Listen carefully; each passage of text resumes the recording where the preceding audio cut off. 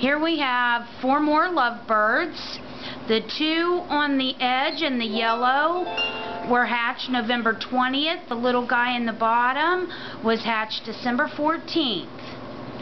They're great little birds. The three older ones are almost ready for their forever home. The little guy is still hand feeding four times a day. If you are interested in these little guys or any of our other birds, please like us on Facebook under Corbett Birds. Our website is under construction, but you will be able to check them out at www.corbettbirds.com. Again, we have four lovebirds hatched 1120 and 1214.